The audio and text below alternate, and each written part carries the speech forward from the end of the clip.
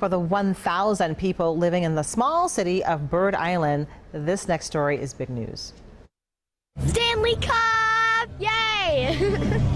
We're celebrating the Stanley Cup victory um, for my son, Jason. Um, we're also building community. That's the proud mom of Bird Island native and Washington Capitals head athletic trainer Jason Serbus. After his team won the NHL Stanley Cup championship, he, like all of the players and coaches, got a day with the cup. And pretty much everyone in Jason's hometown of Bird Island showed up to take a photo with the cup. They also had a chance to make a donation to the Tim Orth Memorial Foundation. It's an organization raising money to help children pay medical expenses. Bird Island is about 90 miles west of the Twin Cities.